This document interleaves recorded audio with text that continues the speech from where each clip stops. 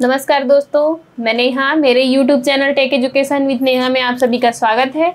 आज हम CPU के अंदर जो एस लगा होता है है ना, जो CPU का पावर हाउस होता है, उसके बारे में पढ़ेंगे। इसको हमको विदाउट मदरबोर्ड विदाउट सीपीयू हमको कैसे चेक करना है? ये आज हम सीखेंगे कि बिना कैसे कभी कभी ऐसा होता है कि हमारा सीपीयू बंद हो जाता है तो कभी कभी ये होता है कि केबल में प्रॉब्लम होता है या एसएमपीएस में प्रॉब्लम होता है तो हमको एसएमपीएस को अगर चेक करना है बिना सीपीयू के तो हम कैसे इसको चेक कर सकते हैं? तो पहले हम ये एक एसएमपीएस हमारे सामने रखा हुआ है है ना?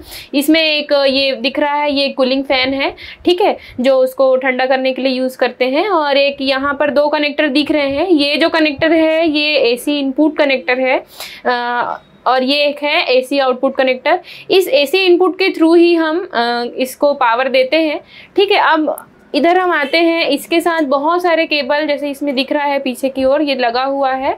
ये सारे केबल अलग अलग पार्ट्स में पावर देने के लिए जोड़ा जाता है। ये जो केबल दिख रहा है, ये जिसमें बहुत सारे पिन हैं, इसको हम मदरबोर्ड से कनेक्ट करते हैं। इसको मदरबोर्ड से कनेक्ट करने के बाद ही मदरबोर्ड में पावर जाता है और ये जो सब ये बाकी के जो छोटे छोटे कनेक्टर हैं, इनको सब अन्य जो डिवाइस हैं कनेक्टिविटी डिवाइस उससे कनेक्ट करते हैं, जैसे कि फ्लॉपी डिस्क हार्ड डिस्क और सीडी ड्राइव ये सबको अगर हमको पावर देना है तो इन सारे कनेक्टर से हम इसको कनेक्ट करके पावर देते हैं। चूँकि ये SMPS switch mode power supply, इसका फुल फॉर्म है। ये, इसको सीपीयू का पावर हाउस बोला जाता है। इसी के थ्रू करंट इनपुट होता है और हमारे सीपीयू के अन्य पार्ट्स में जो करंट जाता है। ठीक है तो अब इसको हमको टेस्ट करना है। इसको टेस्ट करने के लिए आपको कुछ इस तरीके के वायर जो भी आपके पास अवेलेबल हो, वो आप यूज़ कर सकते हैं। जो आप आसानी से अवेलेबल कर सकते हैं वो कुछ भी आप यूज़ कर सकते हैं इस तरीके के जंपर वायर तो ये कुछ नहीं यहाँ पर एक ग्रीन वायर आपको दिख रहा है इसको बोलते हैं एस बी स्टैंड बाई और ये जो ब्लैक जो जितने भी ब्लैक वायर हैं ये सब आ, जितने भी ब्लैक वायर आपको दिख रहे हैं ये होता है दोनों वायर को क्या करना है शॉर्ट करना है।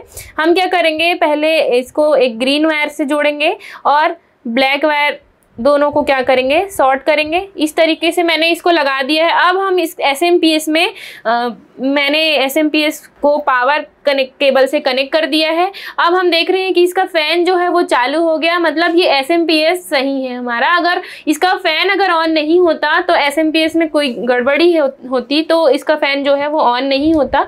तो इस तो इतने आसान जो टेक्निक है इसका यूज़ करके हम एस एम पी एस को चेक कर सकते हैं। तो इस तरह के वीडियो के लिए दोस्तों मेरे साथ बने रहिए। मेरा वीडियो पसंद आ रहा है तो दोस्तों के साथ शेयर ज़रूर कीजिए लाइक ज़रूर कीजिए। और ऐसे ही आगे के वीडियो के लिए दोस्तों मेरे चैनल को सब्सक्राइब कीजिए बेल आइकन को प्रेस कीजिए। Thank you